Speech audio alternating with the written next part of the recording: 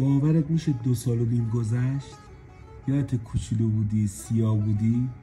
اصلا باور می‌کردی یه روزی خودت مامانشی خیلی داره زود میگذره شیلا خیلی.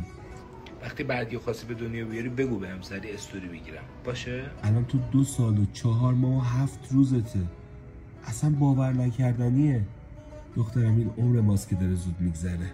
دقیقا پارسال همین موقع یه دختر نازنینی به نام